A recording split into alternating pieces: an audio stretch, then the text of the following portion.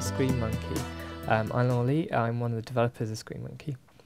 Um, if you haven't seen ScreenMonkey before, then it's a little application you can use to display uh, video, images, and any kind of media on a second monitor without having all the hassle of having to maximize windows and um, move things around and go between different applications. Once you open ScreenMonkey, you get these blank clip slots. Um, each slot you can drop any media type and quite easily play that media. So um, we're just going to get started here.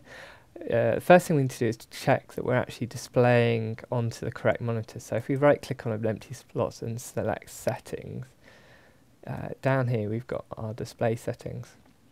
So normally you probably want to put on the second monitor full screen. Um, but for the purposes of this tutorial, we're just going to select primary monitor 50% so we can see what we're doing. Select the right display setting and click OK. Then we just select, click on an empty slot to add a new clip. This opens the clip creation wizard um, and gives us a list of all the clips we can add. So we're going to create, create a color clip. So we select the color clip and click on OK. This gives us a list of colors we can add. I want to create my own custom color, so I'm just going to create a kind of purpley color here. OK. Select OK, and that creates our new clip.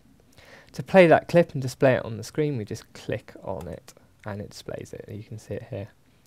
Um, to get rid of the clip, just press clear.